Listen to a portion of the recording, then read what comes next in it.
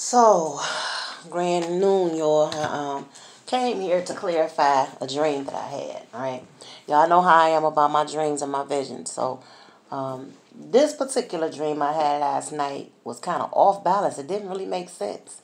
So, in the dream, I was at some event, right? And I was sitting at a table, and it was other people sitting there, but it was this one lady that stood out to me particular. Um, she was very light brown skin, older woman. She was older than me. Um, she was asking me all kind of questions though. You know, asking me questions that I was like, I'm not answering that question because you asking me too many questions or whatever. So, um, she had a husband or a man that came. I think this man was her husband. He was an older guy. And um, he came back to the table or whatever. And she was like, all right, you can get up now so my husband can sit down. And I was about to get up, but then I thought about it. I was like, hold on. I don't even like how you talking to me. I ain't getting up and going nowhere. Go get another chair. So she got mad and was like, oh, you going to get up? I said, well, who going to move me? And um, she started ranting and doing all, and I stood and I sat there. I was like, I'm not getting up. And somebody was like, just go on and give her the chair. I said, I'm not giving her nothing. Cause I don't know who she thinks she talking to. You ain't finna talk to me crazy. And then I'm just gonna get up. She better and I pointed across the room to another table where it wasn't hardly nobody sitting. I said she better go over there and get one of them chairs. And I didn't I wouldn't get up. So I had a dream the night before. And it was about a physical confrontation. I already know what that dream was about and why I had it. So I'm really not going to discuss that. But this one is like, okay, what's up? So then I kept seeing visions of a scorpion. And I seen one again today. And when I see a vision of a scorpion, to me, that, that says that um, it's a Judas around. Okay, because we know that Judas represented Scorpio in the Bible, which was why when at the time he betrayed Jesus for the 30 pieces of silver, which the 30 pieces of silver represented the 30 months, uh, the 30 days of the month, um, and his death represented the de- his death and the death of Jesus represented the coming season of Sagittarius. So in tarot, um, the death represents Scorpio. Okay, the sting of death, Scorpio, it stings. So this is why all of this makes sense to me in my waking of life now that I've got rid of abandoned religious beliefs and started understanding the astrological side of everything.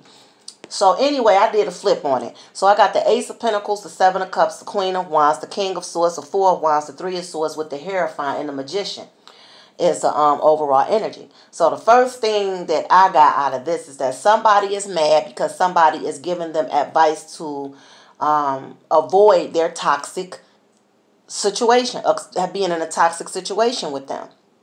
Okay, so of course, in this reading, the energy I get with the Ace of Pentacles means two things. It means somebody is giving somebody something that's helping them elevate in their lives, and it also means a higher level of commitment. Okay, and the reason why I say that is because you have the Four of Wands here. And this is all about a stable foundation. This represents twin flame energy. This represents um, it could represent engagement, marriages, and stuff like that. Somebody starting a relationship or trying to go to a higher level of commitment. So then you got the Seven of Cups, which tells me somebody trying to figure out what the hell going on, you know, with their situation. So then you got the King of Swords. And then you have the Queen of Wands. so what I get out of this is that this um, King of Swords is um, not is, is, is turning down an offer from this queen of king of queen of wands and cutting this queen of wands out the picture. Okay, this queen of wands ain't liking that. This queen of wands ain't liking that. Okay, so they're trying to figure out why this person acting different. You know what's going on with this person. Okay, so obviously they've been talking, getting advice from somebody or talking to somebody that's um, maybe older than them or, you know, that's giving them uh, um, some wise advice with this Hierophant here. This is also about religious factors as well. So this person, this Queen of Wands could be a religious person or could be somebody that's pretending to be a conscious person and they're really not. Okay, they may still be stuck between the world of consciousness and religion. And then you got the magician. So this person is trying to figure out what's going on with this situation. Okay. So now what I would like to do is clarify this, okay? So I think I'm going to use my tarot. This this this this this deck right here. This is really good. This is looking like somebody is really feeling some type of way about somebody not accepting their offer because it's toxic. Okay? What is the energy and the messages of the Ace of Pentacles, Sacred Ancestors, Gods of the Cosmos? Calling in the quantum energy of the Ace of Pentacles. And I have judgment. So somebody is making a conscious decision not to offer a commitment to this relationship or situation or whatever it was. Okay, what is the energy and the messages of the King of Swords? Okay, I hate when that happens. That's too much. I'm not going to take all of that. Okay, so whoever this part, yeah, this King of Swords is cutting out a situation that um there could could, could be a family situation. Somebody that may have kids with this person, um, they could be cutting out a situation from. And then you have the World card. So this King of Swords is cutting out somebody and starting something new. They're going in a different direction. And this Queen of Wands is not liking that. They ain't liking it. They mad. They jealous. They they hurt. They like, what the hell happened? Obviously, with this magician card and this Hierophant, they thought that they had this situation in the pocket under control. So it's not, it, but it's not like that. So I'm getting energy from somewhere and somebody, and this is looking like this is what it is. Okay, what is the energy and the messages of the Seven of Cups, Sacred, and, oh, woo! Somebody avoided a toxic situation. Ten of Swords, somebody avoided a toxic situation and they are walking away from whatever this option is and they are moving on to something else in their lives that's more healing. They're making wiser decisions with this Hierophant here. So somebody is making wiser decisions about whether they should walk into a situation or not. They're not walking into it. They're, they've moved on to other things and exploring other things in their lives. Okay. And this is what's going to bring this person what they really want a more solid and stable foundation, possibly even engagement, marriage, or a solid commitment along the way of them doing whatever they're doing, whatever journey they're on, which is looking like a spiritual journey with this Hierophant here and energy here. So this could be somebody I may have even did a reading on. This is why I'm getting this energy or it could be apply to anybody. But this Ten of Swords with the Seven of Cups, somebody definitely avoided going into a toxic situation. So kudos to whoever you are. I know damn well it ain't me because I ain't going. feel me? you feel me? Okay. Um, what is the energy and the messages of the Four of Wands? Okay, look. This is deep right here, y'all. Look at that. Okay, so you have the Seven of Pentacles in reverse, the Eight of Swords in reverse, and the Hierophant in reverse. So this person may have been may have been getting ready to walk into a bad situation not even knowing it but now this person can see that it would have been a waste of their time they're not even i don't even know if this person is even talking if they are talking to this person they're barely talking to them um, this person could be sending them messages, text messages, leaving messages on a phone, and this person may not be responding. With the Eight of Swords in reverse, this person is no longer in their head about the situation. Oh, it's in reverse. It's in reverse. They're not even in their head about this um, situation. Whoever was trying to get a commitment or, or, or offer a commitment, a solid commitment. Somebody could have been after marriage. Somebody could have been trying to move in together, you know, and start a whole family situation, a whole, whole family dynamic with this Ten of Cups here. But this King of Swords cut it. They they cut all that out. They nope, nope. I, I can't even do it. I can't even do it. they cut all that out. Okay, they spoke their truth. They cut all that out, and they moved on to something else in life. They they moved on to something else. And this Queen of Swords is mad as hell. This Queen of Swords might want to fight. They want to fight. okay? Alright, so now, what is the energy and the messages of the Queen of Wands? What is the energy and the messages of the Queen of Wands? Sacred ancestors, gods of the cosmos, calling in the quantum energy of the Queen of Wands. Give me clarity on this message and the energy of the Queen of Wands. Tell me about this Queen of Wands. All right, well, let's see what this thing. Okay, I hate when this happened too. Turn these back around. Okay, wow. The moon in reverse, the four wands in reverse, and the three of cups in reverse. Okay. Um, this person is um they're upset.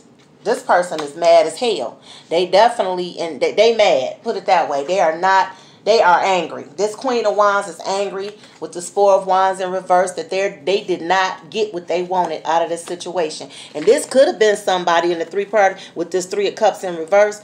Whoever they were trying to get to come into a solid commitment with them could have already either been married, maybe getting a divorce, coming out of a marriage or already divorced just just uh, recently divorced or just recently broke up from somebody they may have been living with or had a solid commitment with and this person may have wanted them to come and get directly into a relationship with them because this queen of wands is all about movement this Queen of Wands don't sit around. The Queen of Wands want what it want. And then you have the uh, Moon in reverse, okay? So this person is not controlling their feelings at all. They're mad. They letting it be known. They are not liking this situation right here. So if any of y'all getting any negative text messages or any argument of text messages from somebody that you decided not to deal with no more because they were asking you for something you wasn't ready for or you didn't feel like you wanted at the time, Baby, let me tell you something. They mad.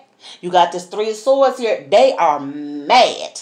Okay, with the three of cups in reverse and the three of swords upright, this tells me that there was, and then you got the four of wands with the queen of wands. You have the four wands in reverse. This is somebody who had they they're mad at whoever this is was either married or just divorced, and this person knew about this other person, this other situation, because the moon is in reverse. So this Queen of Wands knew about everything that was going on, and they did not get what they thought they was going to get out of this, and they are mad. They mad, baby. They mad. Mad. Okay? I keep hearing, um, I'm hearing Whitney Houston, um, uh, uh, how that song go? So take me, I'm your prisoner. Well, will you sentence me? I wanna be your lover for life. Something like that. Y'all know what I'm talking about. Your lover for life. Lover for life. This person thought they was going to take the place of whatever this person just either came out of or was coming out of. they wanted to be that person's lover for life. Okay? But it ain't go down like that. Didn't go down like that. Okay, with this Hierophant, what is the energy and the messages of the Hierophant? What is the energy and the messages of the Hierophant? Sacred ancestors, gods of cosmos, calling in the quantum energy of the Hierophant. well, you got the chariot that, that popped out. Look at that. Alright, so you got the chariot that came out with the Queen of Wands and the Eight of Pentacles. This person stopped putting in or investing their feelings and their time in this Queen of Wands, whoever this Queen of Wands is. Okay, this person came came to the realization and the knowledge of this is not what they should be doing. And they walked away. They kept it moving. And they stopped putting in work with this Queen of Wands, okay? With this Hierophant here. Somebody has sat back and really gave their um, situation with this with this situation, they thought their options through.